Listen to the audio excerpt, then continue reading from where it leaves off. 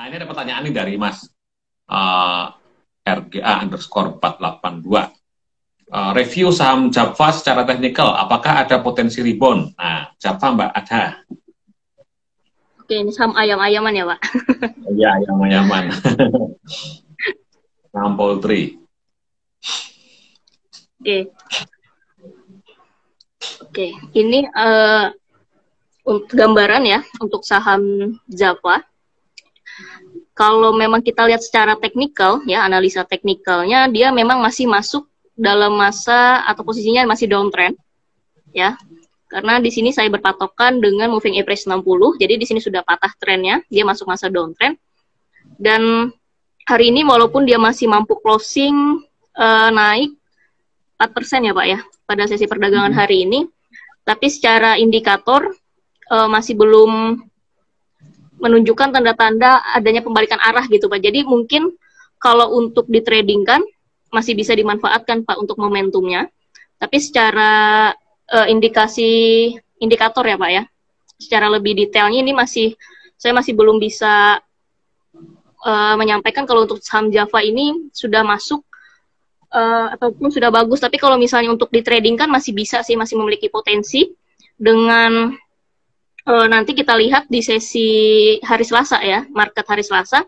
Nanti apakah saham Java ini masih mampu mengalami kenaikan kembali ataukah kenaikan ini hanya sementara saja gitu, Pak. Nah, karena dari segi indikator dia masih belum kuat gitu untuk uh, mengalami potensi rebound gitu, Pak. Hanya saja oh. bisa memanfaatkan momentum saja gitu. Uh -uh. Ya walaupun di sini bisa terlihat untuk saham Java sendiri masih ada gap up di atas ya cukup. Ya lumayan lah ya. Di area 1590 dan juga di area 1560-an. Ini ada gap di atas ya, jadi masih memiliki potensi mengalami kenaikan ya, setidaknya dia harus menutup area gap di atas tersebut gitu. Nah, hanya saja kalau untuk yang trading, nah bisa dimanfaatkan momentumnya. Atau kalau memang masih mau uh, menunggu ya satu candle lagi untuk melihat apakah dia memang sudah benar-benar confirm ya. Karena hmm. di sini saya lihat uh, indikator moving average 5-nya masih uh, menonjol ke bawah gitu, Pak, condong ke bawah. Artinya dia masih memiliki potensi mengalami penurunan. Ya, kecuali tutupnya di atas 1450 ya, itu mungkin bisa ini ya. Uh, ada potensi untuk uh, apa namanya? Confirm ya, Pak ya. ya Setidaknya uh, ya moving average-nya. Itu. Nah, tadi Mas uh, eh, RGA berapa tadi? Sudah dijawab oleh Mbak apa namanya Mbak Adha. Nah ini ada dari Mas Mahendraja BBKP Bang Pukopin. Nah gimana nih Mbak Bang Pukopin? BPKP ya Pak ya.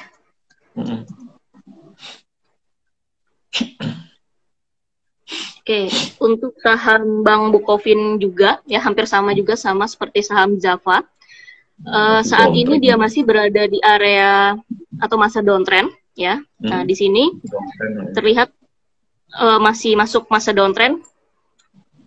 Nah, dan hari ini walaupun dia mengalami kenaikan ya, walaupun dia mengalami kenaikan tapi secara indikator ya kalau yang saya gunakan ini indikatornya masih belum confirm gitu, Pak. Jadi dia uh, moving average 5-nya masih belum benar-benar confirm.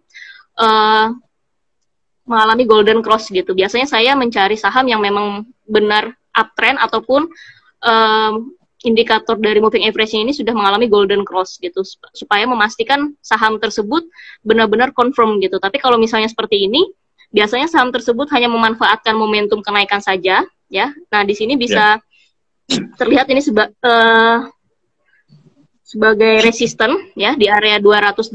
Nah, karena dia closingnya tidak mampu bertahan di atas area 208, nah artinya masih memiliki potensi kembali mengalami penurunan gitu, walaupun mungkin penurunannya terbatas gitu pak, tidak begitu Betul. besar kembali gitu.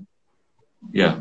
Nah nanti uh, patokannya kalau memang benar-benar confirm bisa uh, tunggu di area kalau memang benar dia breakout ya, area resistennya 208 atau di 210, nanti bisa dilihat untuk uh, indikator moving average-nya apakah dia sudah confirm ya mengalami golden cross atau belum. Biasanya kalau memang belum masih memiliki potensi mengalami penurunan. Nah, tapi kalau misalnya indikatornya sudah mengalami golden cross, maka ada harapan saham tersebut mengalami kenaikan gitu, Pak.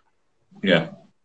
atau kecuali kalau besok Senin dia bisa tutup di atas 220 nih bagus banget nih kalau tutupnya di minimal 220 lah otomatis sudah uh, volumenya gede ya volumenya gede otomatis Betul. sudah uh, break uh, downtrendnya ya jadi ada harapan untuk uh, mulai membentuk uh, tren ke atas. Nah jadi kita lihat nanti di hari Senin seperti apa. Karena kalau kita lihat Mbak Ada ya kalau uh, kecenderungannya ini beberapa hari atau minggu terakhir ini uh, bank digital ini lagi lagi turun semua ya.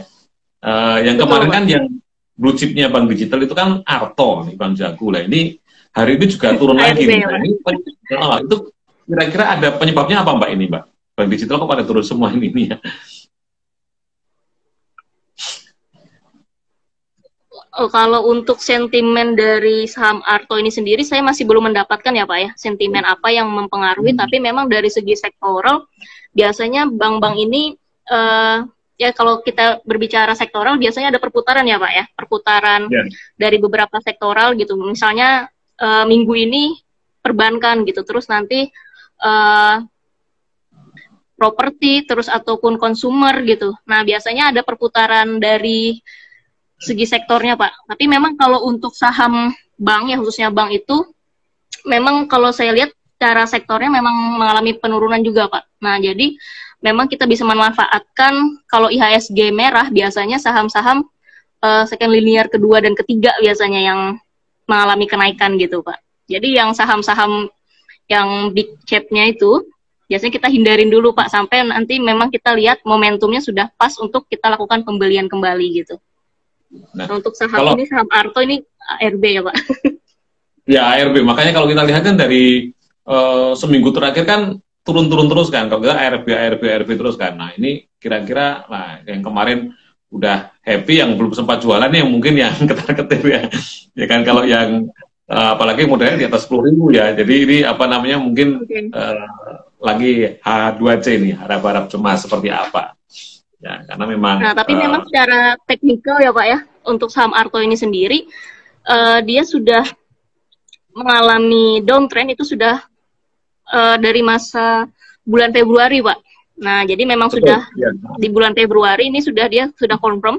Kalau saya itu membacanya, oh ini sudah confirm dia downtrend gitu, karena beberapa kali percobaan ya pada bulan Februari juga sampai ke Maret ini tidak berhasil gitu, Pak. Nah, area resisten ini tidak berhasil ditembus sehingga menyebabkan untuk saham Arto ini masih berada pada posisi downtrend gitu, Pak. Nah, jadi kalau teman-teman masih bingung gitu ya dalam menganalisa biasanya saya hanya menggunakan moving average uh, eh, MA saja gitu moving average sebagai patokan apakah saham ini masih bisa lanjut out uptrend ataupun downtrend gitu Pak. Kalau yang sederhananya seperti ini Pak untuk membaca pergerakan harga sahamnya atau membaca grafik oh. gitu. Ya ya ya. Oke oke. Ya ini atau memang meskipun secara uh, kalau kita lihat uh, baik dari uh, stokastik maupun MACD ya kan RSI semuanya sudah uh, oversold tapi masih belum ada tanda-tanda uh, apa namanya pembalikan arah jadi uh, kalau teman-teman mau mau mau serok bawah mungkin lihat dulu kalau ada tanda-tanda pembalikan kalau belum hati-hati uh, karena kita nggak tahu ya kapan di dia bottomnya di berapa ya kan daripada teman-teman menangkap pisau yang jatuh mending tunggu sampai uh, pisaunya mental dulu baru uh, kemudian dilakukan pembelian. Nah ini kan tadi bank digital lah. Begitu pula dengan bank-bank yang uh, bank konvensional nih, bank konvensional yang besar-besar yang big cap ini kalau nggak salah juga harganya turun ya seiring dengan uh, apa namanya kenaikan suku bunga dari The Fed. Ya kayak kemarin BCA juga turun dalam ya kan, terus kemudian eh, BNI, Mandiri, BRI. Nah kira-kira ini peluangnya kalau uh, untuk bank-bank yang empat besar nih, yang big empat besar nih, apakah masih ada peluang nih Mbak uh, untuk naik lagi ke atas atau justru di saat penurunan ini merupakan saat yang tepat untuk teman-teman uh, mulai mengkoleksi kembali nih saham-saham yang uh, perbankan empat besar ini? Oke okay, baik Pak, uh, ini uh, saya uh, tampilkan ya ini adalah chart dari saham BMRI Pak. Untuk saham BMRI ini sendiri, kalau kita lihat dari secara teknikal analisisnya, nah di sini sudah ada trennya ya Pak ya. Di sini sudah mengalami dead cross. Nah hari ini juga tidak mampu bertahan di area 7.850-an, Pak. Nah, jadi dia ya. uh, ada harapan uh, maaf uh, untuk saham BMRI ini berarti sudah ada potensi dia masuk lagi di, di masa downtrend ya, Pak. Nah, karena hmm. uh, candlenya tidak mampu bertahan di area uh, MA60 ini sebagai patokan saya. Nah, walaupun waktu itu beberapa hari sempat uh, bertahan ya Pak ya. Nah di sini candle hijaunya masih mampu bertahan, hanya saja di candle selanjutnya ternyata dia tidak mampu lagi Pak untuk bertahan gitu, untuk melanjutkan kenaikan. Dan hari ini ternyata untuk support ya, di sini saya uh, gariskan sebagai support, ternyata supportnya tertembus gitu. Nah artinya untuk saham BMR ini sendiri uh, ada peluang untuk melanjutkan penurunan Pak. Nah jadi untuk uh, teman-teman yang masih belum mempunyai saham BMRI, uh, eh, saran saya untuk tunggu dulu gitu. Kalau memang benar-benar confirm, kalau uh, moving average 60-nya ini tertembus, nah artinya sudah masak masuk lagi di masa downtrend gitu Pak.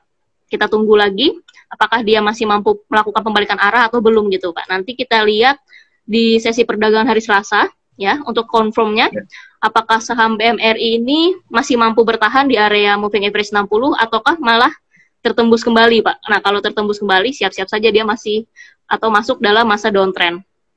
Iya, betul. Karena kalau saya lihat nih, kalau turun lagi mungkin uh, level kritisnya di 7550 ya. Kalau 7550 tembus mungkin ya arahnya mungkin uh, bisa ke bawah 7000 sih ininya kalau aku lihat ya. Jadi uh, teman-teman sabar dulu lah, ya kan, sabar dulu. Betul. Siapa tahu dapat harga lebih murah lagi. Nah, kan lebih lebih oke okay nih. Apalagi kalau uh, buat teman-teman yang untuk mau long term ya ini uh, mungkin bisa di saat ini mulai mungkin hati-hati dulu. Jadi uh, bersabar dulu, ya. Kan uh, yang namanya investasi kan memang harus sabar, benar ya Pak Adha ya. Jadi kita jangan terburu-buru, uh, cermati dulu aja ya kan meskipun uangnya udah ada, ya jangan buru-buru dibelikan ya. Kita lihat dulu. Kalau memang ternyata masih turun ya kita tunggu lagi. Ya, dapat harga lebih murah lebih baik, ya kan daripada kita uh, masuknya lebih cepat. Nah itu tadi BMRI. Kalau misalnya BNI gimana Mbak BNI? Oke, untuk saham BBNI ya Pak ya. Hmm. Nah, untuk saham BBNI ini sendiri, walaupun di hari ini mengalami kenaikan 0,61 persen, ya hanya saja saya lihat ini candle masih belum mampu bertahan di atas moving average 60 pak sebagai patokan saya. Artinya nanti kita bisa tunggu confirm satu kali candle kembali ya di perdagangan nanti hari Selasa. Kalau misalnya candle ya masih mampu bertahan di atas area moving average 60, maka masih ada harapan Pak untuk saham BBN ini sendiri masih melanjutkan masa uptrend ya gitu kalau dia masih mampu bertahan di atas area moving average 60 tetapi kalau misalnya perdagangan pada hari Selasa nanti dia tidak mampu bertahan di atas moving average 60 nah maka masih uh, potensi untuk saham BBN ini masuk masa downtrend kembali Pak. Iya, ini kalau saya lihat memang pas ya, pas di area uh, support uptrendnya ya kalau sekarang ya penutupannya ya. Jadi ini titik-titik kritisnya nih. Kalau misalnya uh, turun di bawah apa namanya hari Selasa closingnya di bawah. Penutupan sekarang kayaknya arahnya ke, ke downtrend ini ini apa namanya uptrend sudah mulai patah ya. Jadi arahnya ke downtrend. Betul. jadi uh, teman-teman tunggu dulu juga untuk uh, BNI kalau mau masuk lagi. Nah BNI habis itu ada BRI BRI nah BRI gimana mbak saham BBRI Nah, kalau untuk saham BBR ini sendiri sebenarnya dia sudah masuk masa downtrend, Pak. Nah, di sini oh, sudah betul. dua hari kemarin ya, Pak ya. Dia sudah ada ah. confirm ya untuk moving average-nya. Dia sudah mengalami dead cross ya. Moving average 5-nya sudah memotong moving, moving average 60 kalau di saya indikatornya. Jadi dia sudah masuk masa downtrend kembali gitu, Pak. Nah, kalau untuk masuk bisa tunggu lagi gitu. Siapa tahu kan bisa dikasih murah lagi pak. Sama waktu itu kan sempat dua ribu ya. berapa gitu kan. Ya apalagi di empat ya paling arahnya ke empat ribu dulu sih. Empat ribu kalau drop lagi ya Tembus. mungkin ya ribu delapan ratus lagi tidak pak nah, betul kalau teman-teman dapat lebih murah lagi ya lebih bagus lagi. Tapi mungkin ya untuk yang investor jangka uh, lama mungkin berharap tidak seperti itu pak ya. Karena kalau waduh kok turunnya terlalu dalam lagi naiknya mungkin agak agak uh, agak berat ya. Meskipun kalau kita lihat kemarin memang dari setelah COVID memang uh, naiknya sudah cukup cukup lumayan ya, hampir 100% ya kalau dari uh, penurunannya ya kalau kita lihat. Jadi ya, uh, betul, tidak, tidak mungkin. Betul. Nah ini terakhir BCA nih Mbak. BCA ini kan uh, blue perbankan nih.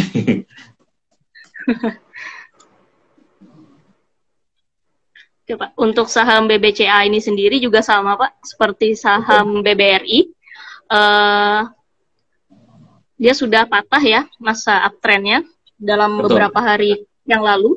Jadi dia sudah confirm hmm. untuk uh, moving average-nya sudah mengalami dead cross, walaupun bagian atas ini ada posisi gap up Pak. Jadi walaupun di atas untuk saham BBCA ini ada gap di atas ya, Pak. Tapi untuk indikatornya dia sudah confirm ya mengalami dead cross sehingga dia sudah masuk masa downtrend kembali Pak untuk saham BBCA. Hmm. Aku lihat sih masih lebih ke ini ya kemungkinan uh, sideways ya ini ya kalau bisa bertahan di uh, support yang sekarang ya di atas 7.200an ya. Mungkin arahnya sideways ya uh, apa namanya BCA. Kecuali kalau turun lagi nah. Oh iya di sini nih masih nah. Nah di sini. Ya kalau lihat dari memang pergerakannya. Oh, dari bulan Oktober Oktober 2021 ya sampai sekarang kan arahnya ya, sebenarnya kan uh, teknis kan kalau dilihat itu patternnya. Oke. Okay.